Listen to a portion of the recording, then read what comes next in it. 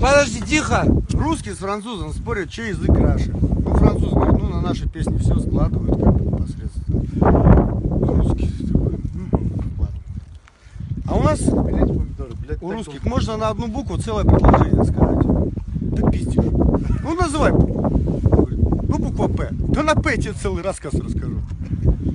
Так вот, рассказывают русские. Прапорщик первого пехотного полка получает письмо. Пишет ему подруга Полина Поликарповна.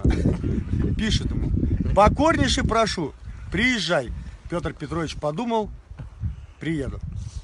Прихватил поношенный плащ, поехал. Приезжает, Полина Поликарповна приветствует Петра Петровича. Петр Петрович приветствует Полину Поликарповну.